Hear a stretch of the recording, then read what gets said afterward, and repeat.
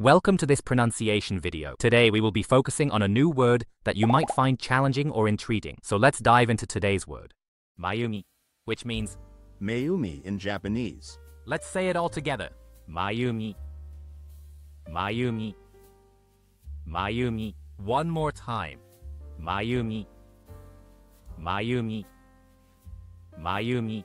Thank you for joining us on this adventure in pronunciation. Remember, language is a journey, not a destination. Keep exploring, experimenting, and expanding your linguistic horizons. We'll see you next time.